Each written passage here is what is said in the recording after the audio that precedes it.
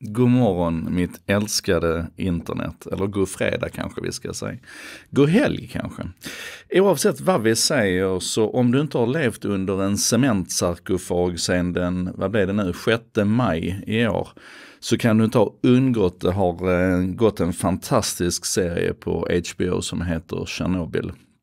Den är skapad av eh, Johan Renck bland annat och den ligger just nu som den högst rankade tv-serien någonsin genom tiderna. Om du går in och tittar på EMDBs topplista.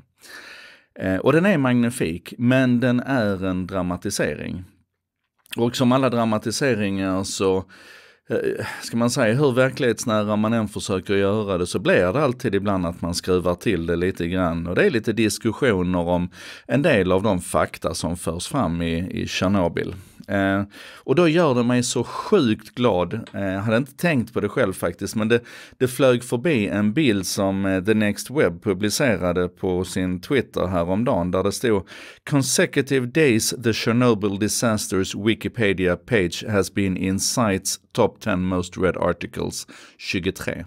Alltså, i mer än 23 dagar här nu och det här fortsätter fortfarande, så har alltså sidan om Tjernobylkatastrofen på engelskspråkiga Wikipedia legat bland de topp 10 mest lästa artiklarna.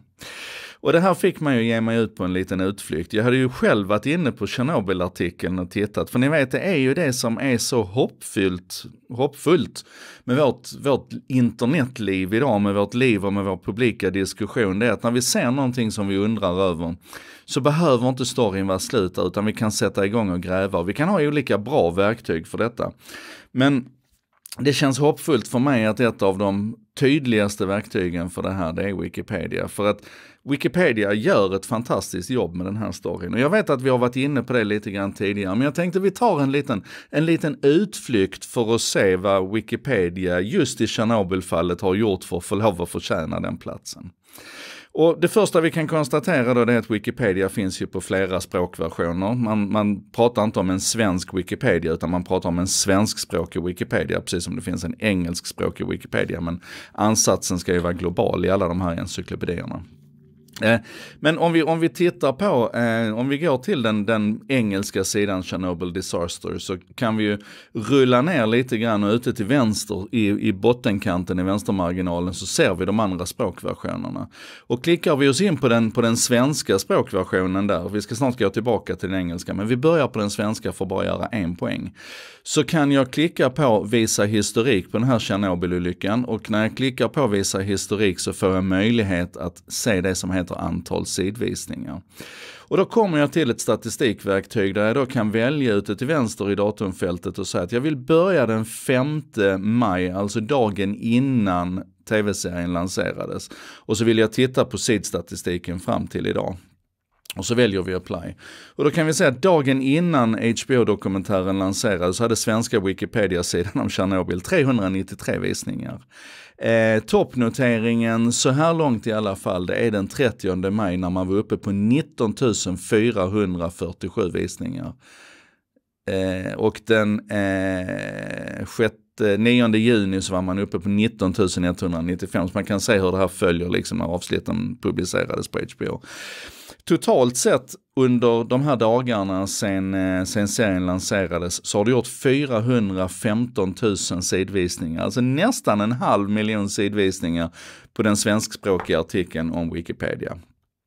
Om vi istället går in och tittar på den, på den eh, engelskspråkiga versionen så ser vi Eh, så ser vi lite grann samma tecken där, att det var nästan ingen trafik innan och sen så har man då maxat och legat på över 530 000 sidvisningar på en enda dag den 28 maj. Och totalt sett under den här perioden så är det 13 363 703 sidvisningar. Och det här är alltså folk som har varit nyfikna på vad det är som har hänt och gått till den här Wikipedia-artikeln.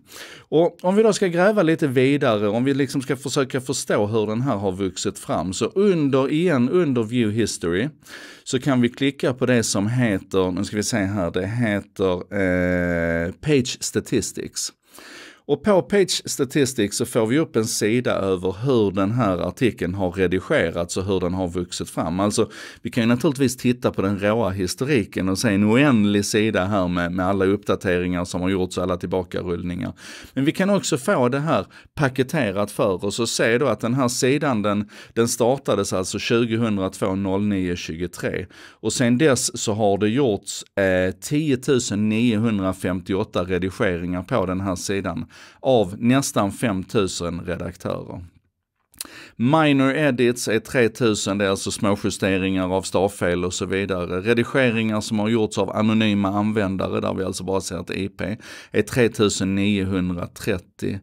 Eh, vi kan gå in och se att det finns eh, 1356 personer som övervakar den här sidan, som alltså har den i sin bevakningslista och som kan kliva in och, och, och reagera så fort någon gör en redigering på den.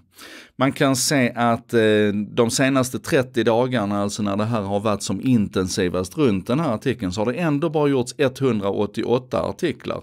För att redigeringshistoriken runt den här sidan pikade någonstans runt 2006 kan man säga här då när det släpptes en massa FN-rapporter och, och man var utsatt för lite vandalisering på den här sidan. Och så. Då kan man se grafer precis, liksom, när har det redigerats, vem har redigerat, hur har sidan vuxit i omfattning. Man kan se att 10% av redaktörerna, de, de 10 som har gjort mest, har gjort ungefär 10% av redigeringen av den här artikeln. Medan 90% av, av redigerarna har gjort de andra 90%. Det kan inte bli mycket jämlikare än så kan man tycka. Den som har gjort flest redigeringar det är en snubbe som heter Boundary Lawyer. En snubbe, det kan vara en snuppa också, det vet jag inte.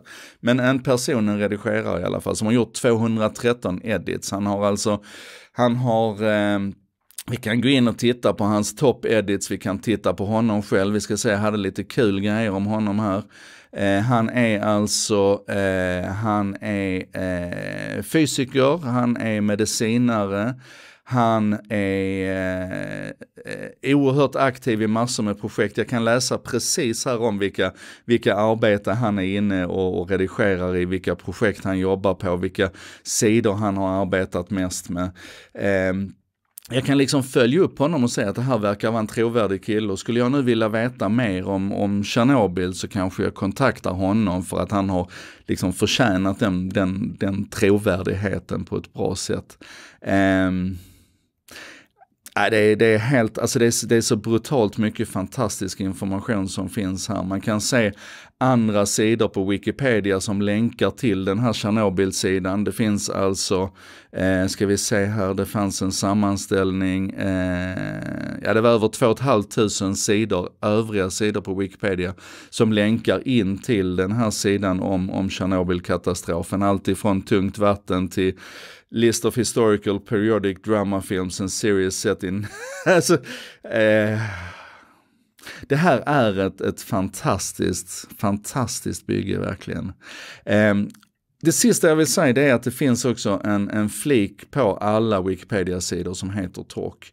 Och går man in och tittar på diskussionssidan här om den här Tjernobylkatastrofsidan så, så kan man liksom följa allt ifrån diskussioner runt hur ska vi, hur ska vi räkna eh, konvertering, hur ska vi räkna valutakonverteringen när det gäller rubel mellan då och nu till, ska Bridge of Death ha en egen sida eller ska det ligga inbäddat i denna sidan? Till naturligtvis vilka dödstal och vilka siffror ska vi ange här, de som kommer ifrån Greenpeace-rapporten som jag tror pratar om 400 000 eller det som kommer ifrån FN-rapporten som pratar om 4 000 och hur liksom hela det här Wikipedia-communityt arbetar med att försöka balansera upp de här, de här siffrorna.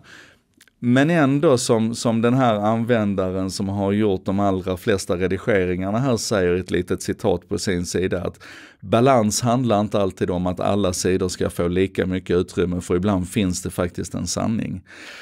Och den här artikeln om Tjernobylkatastrofen tycker jag sammanfattar det på ett fint sätt. Nu är min rekommendation, nu är det fredag idag. Ta en stund den här helgen och, och plocka fram den sidan som heter Chernobyl Disaster på engelskspråkiga Wikipedia. Och så klicka runt bland alla de här verktygen och se vilket fantastiskt bygge det här är. Och igen, det är ingen kritik mot HBO-serien som Johan Renck har gjort, den är fantastisk, men vi behöver, eh, vi behöver vårt Wikipedia också. Så tusen tack alla ni som arbetar med det där ute, inklusive jag då. Tack till mig själv. Vi hörs!